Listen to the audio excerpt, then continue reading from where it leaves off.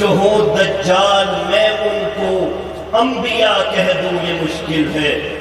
मुझे जंजीर पहना दो, मुझे सूली पे चढ़ा दो, मगर मैं राहजरों को रहनुमा कह दूँ, ये मुश्किल है। अमी, जब मेरी नज़रों में बुखारी से कलंदर हो, अमी, जब मेरी नज़रों में बुखारी से कलंदर हो, मैं किसी अयाश को पारसा कह दूँ, ये मुश्किल है।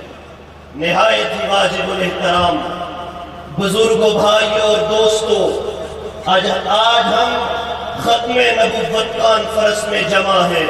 खत्म नबुवत का माना मतलब और मफहूम क्या है कि जनाबे हज़रत मोहम्मद रसूलुल्लाह सल्लल्लाहु अलैहि वसल्लम खल्ला के आलम के आखिरी नबी है।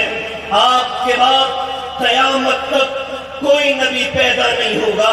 आपके बाद आएगी तो कयामत आएगी।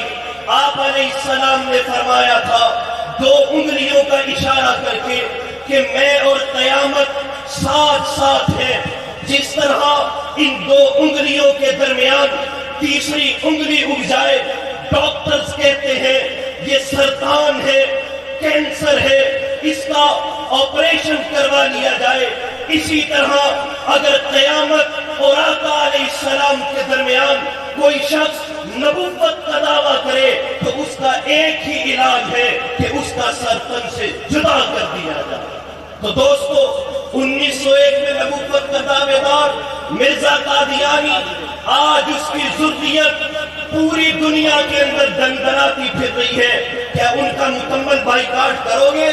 पैगंबर इस्लाम से वफा का सबूत दोगे कि मोहम्मद से वफा तूने? तो हम तेरे हैं। ये जहाँ चीज़ है क्या? लोहो कलम तेरे हैं। व आखिर उतावाना अलहमदुल्ला रबिल